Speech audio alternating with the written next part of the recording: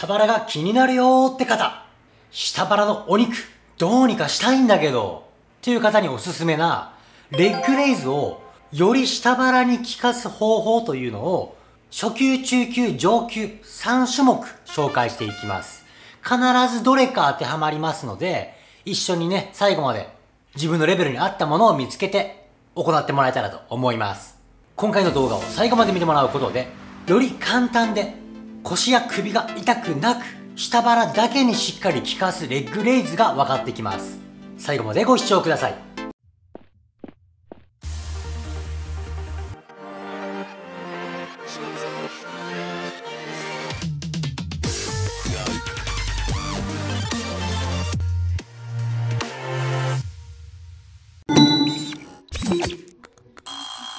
はい、皆さんこんにちは、タートルです。今回ですね、下腹にしっかり効くレッグレイズのやり方ということで、3種目紹介していきます。上級、中級、初級と行っていきますので、まあ、自分に合ったね、ものを選んでください。で、今回、下腹に効かすレッグレイズなんですけども、レッグレイズを行うメリットとしては、腰を丸める感覚が身について、反り腰が改善されて、姿勢が正されて、下腹がまず凹む。っていうのが一つです。もう一つは、筋肉の少ない部分に脂肪がつきやすいです。なぜかというと、筋肉が少ない部分というのは冷えやすいです。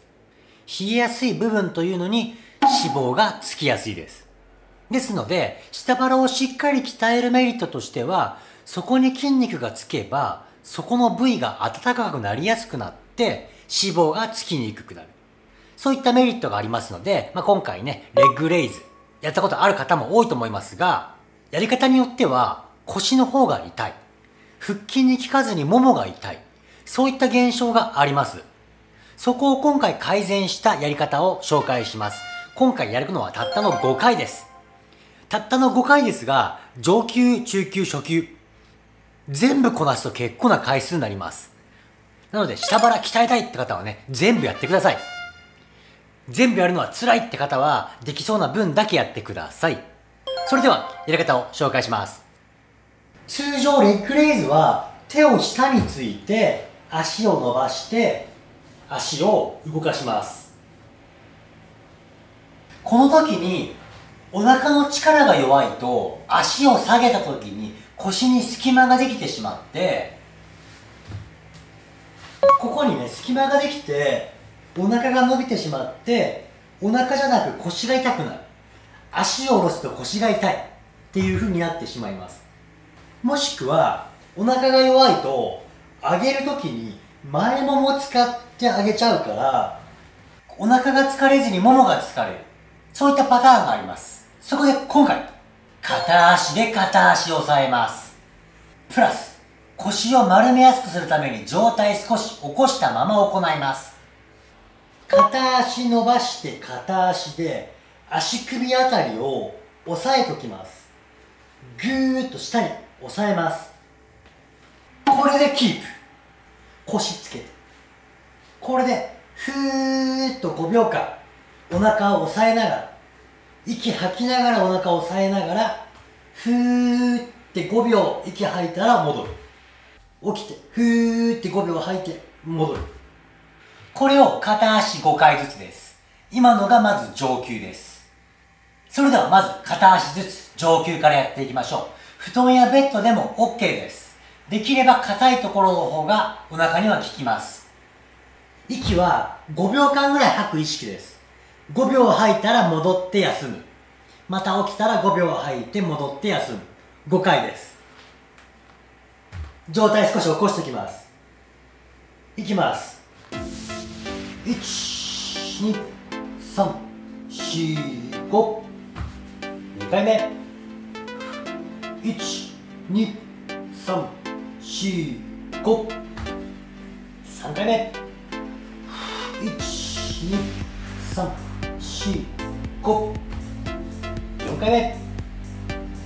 12345こラスト。12345 OK 反対いきます。せーの。はい1 2 3 4 5 2回目。1 2 3 4 5 3回目。1 2 3 4 5 4回目。1 2 3 4 5ラスト。1 2 3 4 5 OK 今の上級編で腰がやっぱり浮いてしまった方。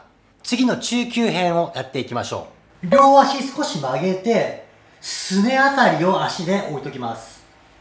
こういう感じです。これでキープ。5回いきます。スタート。1 2 3 4 5 2回目。1 2 3 4 5 3回目。1 2 3 4 5 4回目。1 2 3 4 5ラスト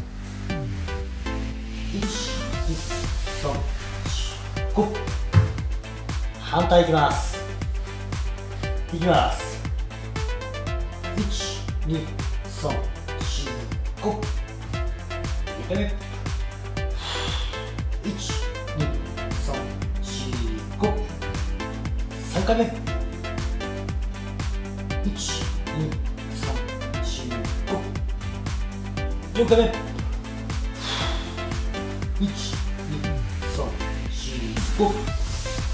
ラスト。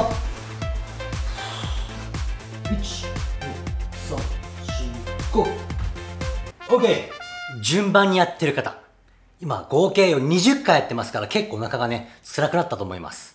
最後初級編です。これは首を寝かしてきますから首がね上級中級と痛かった方は初級がおすすめです。やっていきましょう。はい最後の初級編はあぐらを組んで頭を寝かせて息を吐きながらお腹を押さえて、足で押さえる。足で持ち上げる。という感じでやっていきます。上に乗してる足で押さえる。下の足で持ち上げます。これは5回。息しっかり吐きます。いきます。1、2、3、4、5。2回目。1、2、3、4、5。定め。123454回目。12345ラスト。12345OK 反対です。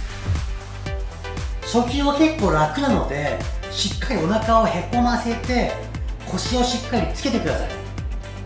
いきましょうラスト。スタート。12345 5点目12345 3回目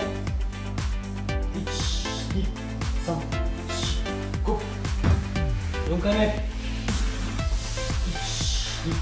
12345ラスト。345OK 上級からずっとやった方結構いい汗かいてると思いますもちろんね今の3種目を辛いのからスタートですから全部行うのもありですですが中級上級は頭を起こしますそして足を少し伸ばしてますから腰が浮いてしまうそういった方は初級から練習して初級中級上級っていう風にやってください下腹にしっかり筋肉がつくとねお腹を触っても温かい感じになってきます。そうするとやっぱり脂肪がつきにくくなるし取れやすくなるとも言われてます。ですので下腹が気になるよって方これをぜひ続けてください。息をしっかりね吐けば吐くほどお腹がへこんできます。腰を丸めれば丸めるほど反り腰が改善されて姿勢が良くなります。ですのでそこの2つも意識しながら何度も動画を見ながら行ってください。頑張った方よかったらグッドボタンコメントよろしくお願いします。各種 SNS 説明欄にリンクを貼ってますのでよかったらリンクを押してですねやられてる SNS があればフォローしておいてください。そちらでもたまに配信してます。今回もご視聴ありがとうございました。